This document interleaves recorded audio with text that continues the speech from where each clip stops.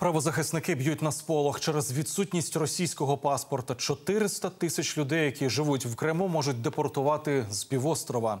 Новими законами окупаційна влада змушує кримчан відмовлятися від українського громадянства. Однак мають правозахисники претензії і до офіційного Києва. Сергій Зленко далі.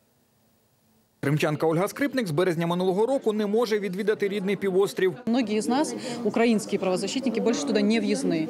Я, например, больше не могу въехать в Крым. Жінка брала участь у проукраїнських мітингах та захищала від блокування українські частини. Однак від знайомих Ольга й досі отримує інформацію з Криму, відстежує випадки порушення прав людини, особливо так званою кримською самообороною, яка з'явилась у лютому минулого року. За інформацією правозахисників, до складу організації увійшли місцеві мешканці, байкери та прибулі росіяни. У червні так звана кримська влада прийняла закон про народне ополчення, народну дружину Республіки Крим. І якщо раніше це формування використовували для боротьби з проукраїнськими силами та всіма незгодними, то останні півроку воно допомагає самопроголошеному прем'єру Криму захоплювати приватну власність. Формальным основанием для этого обычно являлся какой-либо указ э, Аксенова о национализации того или иного объекта, после чего появлялась крымская самооборона, вооруженная, неопознанная, без всяких опознавательных знаков, либо в военной форме, камуфляжной, либо в черной, либо просто в спортивной.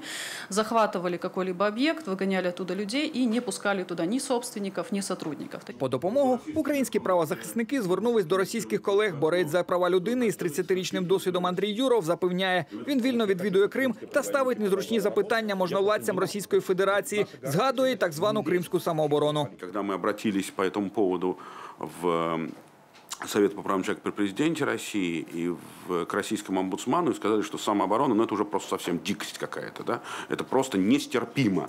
И там, в общем, сказали, да, это нестерпимо, и это надо немедленно менять. Ну, то есть, э, и они стали, скажем так, вести себя не так нагло и в законодательном плане, и в э, реальном исполнении. Утім, росіянин зізнається, його інструментарій обмежений. Як тільки дасть інтерв'ю щодо законності приналежності Криму, може сісти в тюрму на 6 років. А поки до так званої влади півострова та російської влади намагається достукатись з іншого питання, що очікує в Криму на тих, хто не отримав російський паспорт. Адже так звана федеральна міграційна служба на анексованій території оголосила про початок роботи за законами Російської Федерації. А в Росії українців через 90 днів мають право депортувати. Что ждет людей, например, после 1 января, хорошо, вот кто не получит паспорт, например. Будут ли их просто депортировать там, еще что-то с ними будет происходить? Стоит ли идти на массовые нарушения? Потому что если депортировать, по разным оценкам, сейчас примерно 300-400 тысяч людей не получили российские паспорта.